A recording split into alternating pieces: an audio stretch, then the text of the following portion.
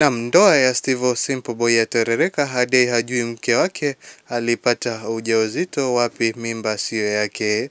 Hujambo na karibu kwenye Kelvin Mwangi Media. Steve Simple Boy amemtuhumu mkewe kuwa na ujauzito wa mtoto wa mwanaume mwingine na kukana kuwa babake.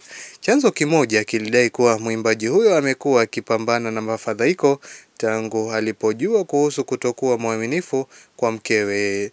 Grace alijibu madai hayo na kuthibitisha kuwa mambo si sawa katika ndoa yao, lakini akakaa na kutoa upande wake wa hadithi.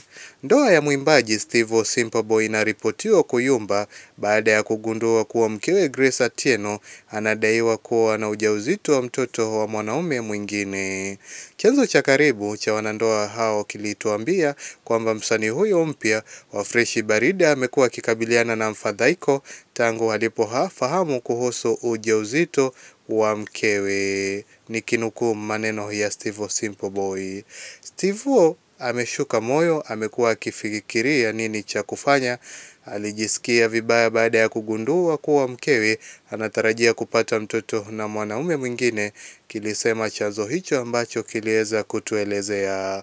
Ushahidi uliovunja ulionyesha Steve akikana ujauzito huo na kuelezea kuwa hakuwa pamoja kwa muda mrefu na kwamba alirudi kwake akiwa tayari ni mjamzito. Jibu la Grace Atieno aliweza kutuwasilisha lilisema hivi na akasema angetoa upande wake wa hadithi hivi karibuni, walakini alikiri kwamba uhusiano wake na mwimbaji sio kama walipoanza hapo awali.